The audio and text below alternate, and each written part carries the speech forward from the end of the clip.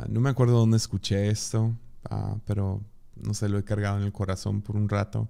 Creo que es una canción, ah, pero no, pude encontrarlo. Googleé, a lo mejor no, a lo mejor fue una película o lo que sea, pero lo difícil de la vida es que es tan ordinaria, ¿no? Es tan ordinaria. Es lo que hace difícil la vida. Es que es cotidiano, es ordinario.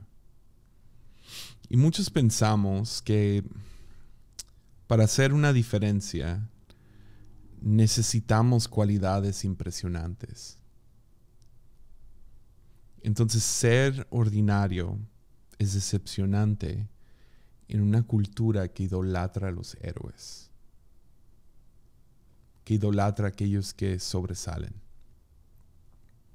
Podemos sentirnos completamente invisibles en un mundo donde algunos sobresalen y decimos, ah, así debería de vivir, pero no puedo.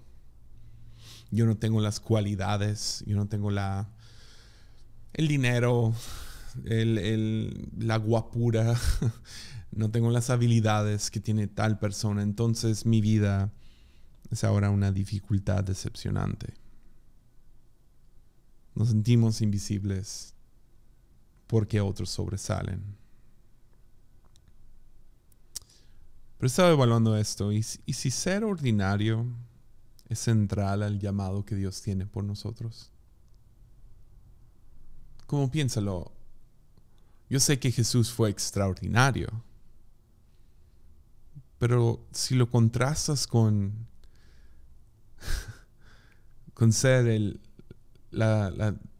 una tercera parte de la Trinidad, con ser el verbo, quien estuvo ahí desde el principio y estará ahí hasta el final, que es el cordero y el león, que es el alfa y el omega, es el verbo hecho carne, es el hijo unigénito, se encogió a ser un bebé y nació en un pesebre. Nació en Belén y creció en Nazaret, donde alguien preguntó, ¿no? ¿Qué de bueno puede salir de Nazaret? Vivió una vida bastante ordinaria hasta que no. Y eso fue su decisión pudo haber venido como sea, pero vio que el mejor plan de vida, plan para de, de salvación, fue venir como algo pequeño, algo ordinario. Jesús nunca dijo, los primeros serán los primeros, dijo que los últimos serán los primeros. Ah, dijo que para poder ser grande en el reino deberá ser pequeño. Y he estado pensando en eso. De hecho, el otro día pasó algo chistoso y lo anoté en mis notas de, uh, idea para episodio. Y realmente nunca llegó a nada más, pero ya preparando esta dije, ah, ahí cabe. Ah, pero el otro día estaba sentado en mi sofá y ah, se me cayó el control. Y tenemos uno de esos controles, ¿no? Del Apple TV, los chiquitos. Estos. Y se cayó entre el sofá y muy profundo. Uh, por cómo está diseñado nuestro, nuestro sofá y no podían levantarlo y agarrarlo por abajo, tenía que, que, meter mi mano, pero pues tengo la mano bien gorda y grande y no podía, no cabía mi mano, parecía que me, no sé, que me iba, que me iba a arrancar el brazo si lo metía más adentro, ah, se me iba a atorar y iba a ser catastrófico. Y ahí estoy luchando y haciendo toda esa cosa donde estás como que tratando de, agarrar el control, como... ¡ah! Y estoy ahí luchando con el control. Y uh, cuando de la nada mi hijo llega, y dice, papi, yo lo hago. Y mi hijo no mete la mano como si nada y lo saca. Aquí está y me acuerdo en cuanto me lo dio, pensé, ya, pequeño entra donde grande no. y a veces pues, idolatramos otra vez. Nos fascina una buena historia de héroe, alguien que sobresale, alguien que es extraordinario. Pero a veces esas vidas no caben donde a lo mejor Dios nos quiere. Entonces, he estado como que meditando en esto. El Dios perfecto grande, inmenso, lo que sea, grande, perfecto, está muy loco que puede crear a seres humanos tan pequeños y con tantas deficiencias.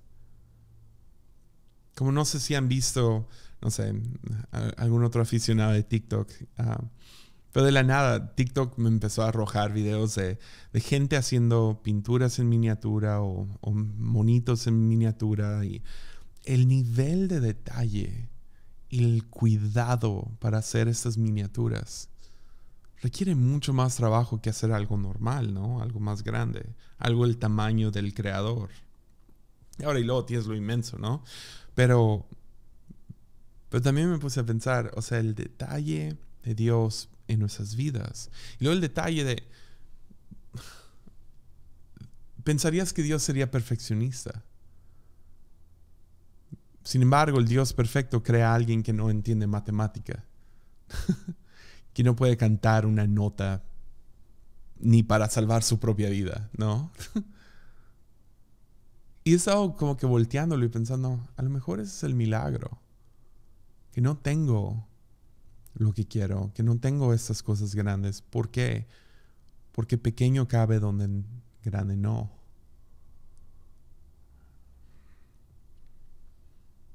Y a lo mejor es ahí si puedo abrazar y ver que aún en mi vida ordinaria, que aún en los momentos ordinarios, Dios puede convertir ese valle de llanto cuando me siento inseguro, me siento, chale, no he vivido la expectativa que tenía sobre mi propia vida, no, no soy alguien que resalta o lo que sea. Es ahí donde puedo encontrar el manantial refrescante en, oh, ya vi por qué no me dio eso. Ya vi por qué no tengo las habilidades o lo que sea. Oh, porque pequeño cabe donde grande. No, ahora yo no estoy tirándole a los grandes, no es una ni el otro. Es nomás a lo mejor considerar que el diseño no es malo, no es deficiente, sino fue a propósito y con un plan y es un plan bueno, agradable y perfecto. Entonces a lo mejor puedo encontrar el manantial el manantial refrescante en este valle de llanto. Porque si, si Dios no, o sea, si Dios sabe cuántos cabellos tengo en mi cabeza, que para mí no es nada difícil, pero si Dios sabe cuánto cabello tienes sobre tu cabeza, lo tiene contado, ¿no crees que sabe qué son las cosas que según te faltan para ser extraordinario?